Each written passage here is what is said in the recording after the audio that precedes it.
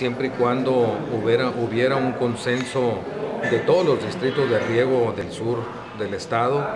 de los presidentes municipales, de la sociedad en general, de los diputados, tanto federales como locales, porque es un proyecto que no debe dividir a los sonorenses.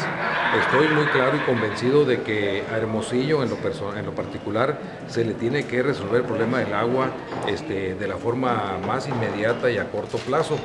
pero siempre y cuando este, haya o exista un proyecto que tenga este, soporte económico, soporte técnico, este, su impacto ambiental, un proyecto ejecutivo en su, en su este, magna dimensión para que esto sea una realidad y venga a resolver el problema del agua potable este, para los sonorenses. ¿Y el Sonora sí lo cuenta con todos esos trajecitos? Bueno, yo creo que se está trabajando en eso, este, para que sea un proyecto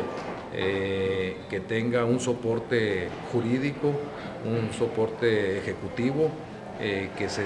que se socialice ante los sonorenses para que sea una realidad. Las voces que se han expresado en